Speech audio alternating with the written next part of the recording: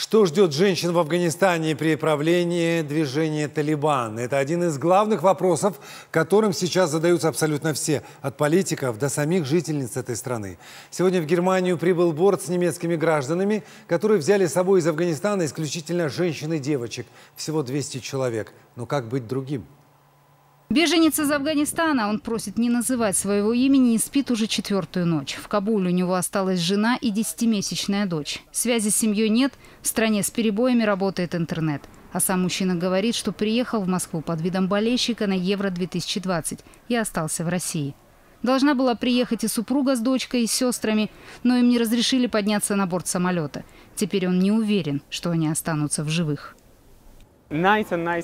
Каждый день думаю о семье и пытаюсь найти какой-то способ вытащить их оттуда, потому что там остались четыре женщины одни. Талибан не позволит женщинам ходить без мужчины. Они не могут даже выйти наружу. Это такая сложная проблема, вы не представляете. Их могут убить.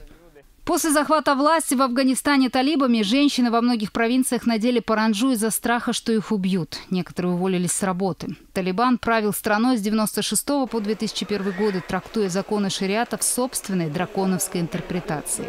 По данным Amnesty International, в 1996 году женщине в Кабуле отрезали конец большого пальца только из-за того, что она использовала лак для ногтей.